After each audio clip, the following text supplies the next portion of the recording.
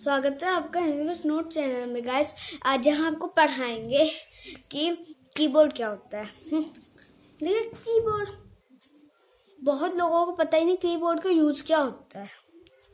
तो आज मैं आपको बताऊँगा कीबोर्ड उसमें होती हैं बहुत तरह की कीज लोग कंफ्यूज हो जाते हैं। तो अभी मैं आपको बताऊँगा अल्फ़ाबेट देखिए, बहुत लोग सोचते हैं ये गलत है कीबोर्ड इसमें। अल्फ़ाबेट ऐसे नहीं लिखे ए बी सी डी इसमें तो उल्टा फुल्टा लिखे है। तो इसलिए मैं बहुत लोगों को बता चुका हूँ कि ये जो होता है कीबोर्ड तो क्या करते हैं लोग? इसको इजी करने के लिए वो क्या करते हैं कि वो होता है, ऐसे सब लिखे रहते हैं। तो बहुत लोगों का मैंने देखा है, मैंने खुद भी ट्राई किया है कि मैं उनको सर्च करूँ। लेकिन अगर आपको बहुत जल्दी जल्दी लिखना है तो आपको उन सब ना, उनको याद करना पड़ेगा और फिर आपको देखना पड़ेगा, ए, वो कहाँ है, वो कहाँ है? फिर आप दोनों हैंड यूज़ करेंगे तो आप जल्दी जल्दी जल्दी जल्दी क्लिक कर सकते हैं। तो मैंने आपको बताया अल्फ़ाबेट अब मैं आपको बताऊँगा क्या अब मैं आपको बताऊँगा नंबरिंग की। तो देखिए क्या होता है उसमें कि आप अगर कहें नंबरिंग की मतलब टेन ही नहीं है तो one two three five six seven eight nine zero. तो आपको टेन लिखना है तो ये वन और ज़ीरो लिखिए। हम्म, आप कभी बच्चों के टॉर्च में देखिएगा कहीं कहीं टेन लिखा होता है कहीं कहीं ज़ीरो और यहाँ वन होता है।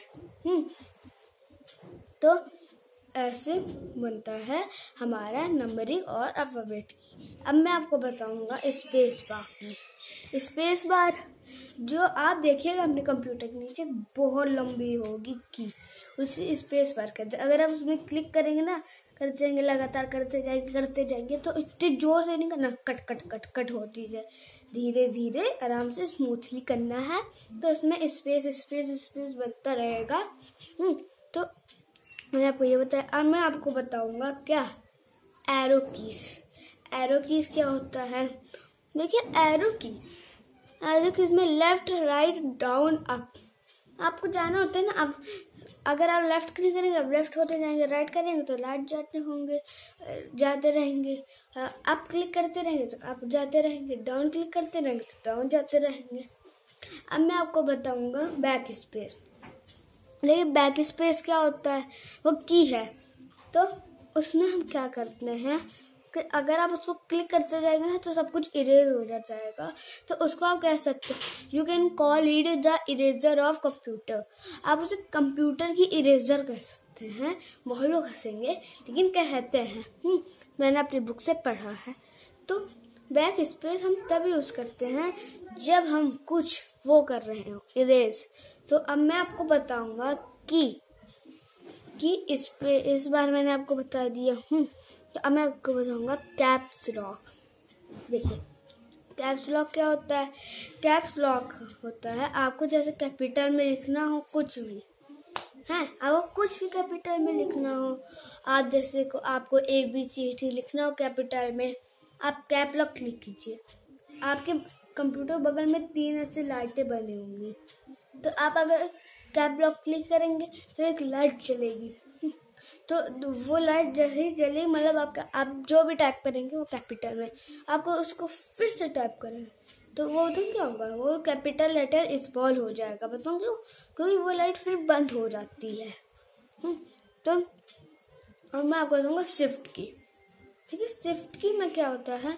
बहुत लोग सोचते हैं, उसको शिफ्ट करने के लिए नहीं। जैसे आपको डालना हो निशान क्वेश्चन मार्क का, ठीक है? ऊपर देखिए, ऐसे कीज बनी होंगी, उसमें खूब सारे परसेंट्स और, उनके होंगे निशान। तो अगर आप शिफ्ट को शिफ्ट को और उसको साथ भी करते हैं तो वो हो जाएगा। बहुत सारे बच्चों को दूर लगता है तो आप ऐसे कीजिए। शिफ्ट की को पहले दबवा दीजिए और फिर जो एरो है उसको दबवा दीजिए। तो क्या हो जाएगा? वो आ जाएगा। तो आज मैंने आपको बताया कि कीबोर्ड क्या होता है। तो उसमें इनपुट डिवाइस होती है और क्या नहीं कीबोर्ड कीबोर्ड जो कंप्यूटर का है ना कंप्यूटर का, वो है input device thank you watching मैंने रहेगा लाइक से सब्सक्राइब करना मत भूलिएगा। बेल आइकन सब्सक्राइब करना मत भूलिएगा।